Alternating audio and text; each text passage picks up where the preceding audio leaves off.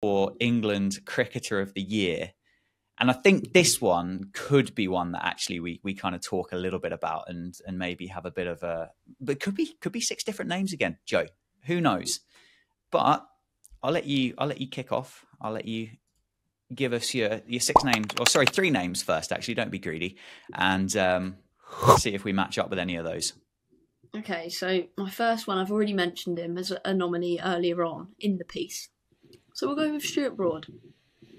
Finishing his England career on a high, taking 38 wickets in the year. Um, was what second leading wicket taker in the Ashes, I think, wasn't he? Yeah. As well. Um, hit his last ball in Test match cricket for six, or whatever it was. Took a wicket with his final ball in Test match cricket as well. Like, could you write it? He also changes the bails around, and that gets wickets too. I think he has to be a worthy nominee. He also wears a sweatband. I don't know whether you don't know whether you would have picked up on that. The commentators don't mention it too much. Um, you might have passed you by.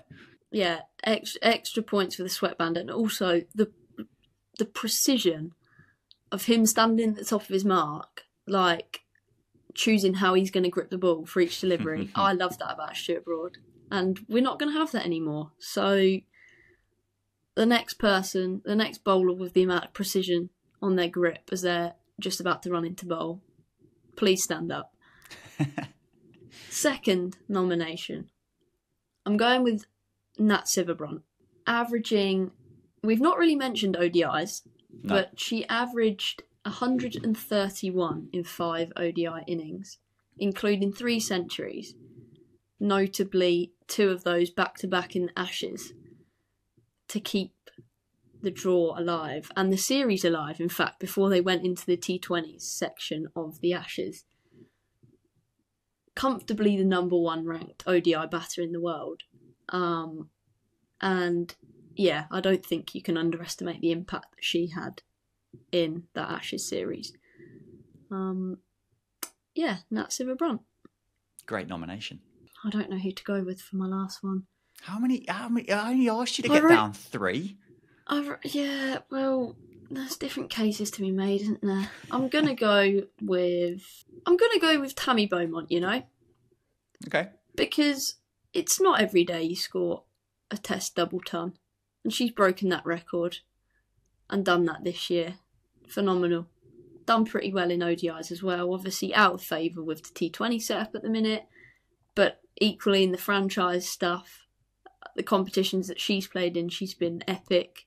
Um, if you haven't forgot, she's also scored nearly 120 in the 100 when I dropped her. Um, but that's not international cricket. But yeah, Tammy Beaumont, my third nomination. Three superb nominations. Um, to go through the the Patreon players for the nominations, we have got one from Josh. Um, mentioned about Stuart Broad's taking a wicket with his final ball and like hitting a, hitting a six with the last ball of his his career as well. Uh, Jono has provided a nomination for Moeen for sticking the whites on and playing a series that a lot of people thought was beyond him at that point. Um, Zak Crawley has got a nomination from Varoxon, top run scorer in the Ashes, um, which I think is probably worth talking about. Uh, Josh has provided Tammy Beaumont.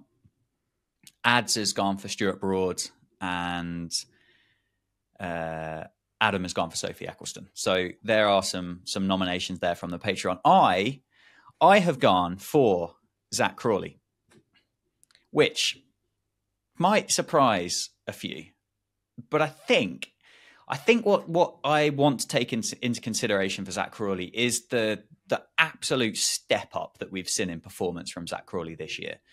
I think to to go from to go from which I suspect a lot of people, including myself, were, were calling for him to be dropped many, many times. And I think England probably should have taken the opportunity to do so. However, they didn't, and they invested in Crawley Coin, and Crawley Coin's come good, and he's scored 606 runs this year, leading run scorer in the Ashes, as just mentioned. Smoked the first ball of the Ashes through the covers for four, which is going to be one of the most iconic Ashes moments for the next probably 20, 30 years. I just mentioned about the step up in performance, and I think the inclusion in the ODI squads as well, which arguably I think is going to end up being probably his best slash easiest format for him to play. So Zak Crawley was my first nomination.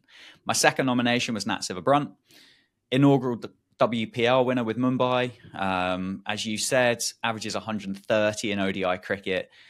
As you said, kind of kept that um, Ashes series alive. It always feels like Nat Sciver-Brunt's almost doing it single handedly as well. And I do think, and I do think that if if men's and women's cricket were on parity with um, world popularity, whatever you want to, I don't know the best way to describe it, but I genuinely think Nat Sciver-Brunt would be considered the best cricketer in the world right now. And I do think you could come up with a serious argument to to suggest that she actually is and averages 45 in T20 internationals as well. And thirdly was Tammy Beaumont, Test double hundred, fifth highest score in history. I think it was the first 100 100 in the women's side of it in the process of you you grassing her down on the was it deep square was it deep mid wicket that you grassed her I think at Sophia Gardens Yeah, it was deep square. It was very Mm. slippy. it was was it was that the ball or the the footing Bit of both, actually. they get quite a bit of rain in Cardiff as it goes. so they're my three nominations I do feel like an absolute moron for not mentioning Stuart Broad though Worthy nomination. I like. I don't mind Zak Crawley's um, nomination from you because, like you said, he has probably improved the most in as as an England player in the last year. You would say um, under a, what feels like a lot of pressure going into that Ashes series, and like you said, I was going to mention it. Iconic Ashes moment, hitting that first ball before. I don't think anyone will forget that. And then the camera turning to Ben Stokes' face and him just being like, "What am I witnessing?" yeah Um, but I don't think he wins the award.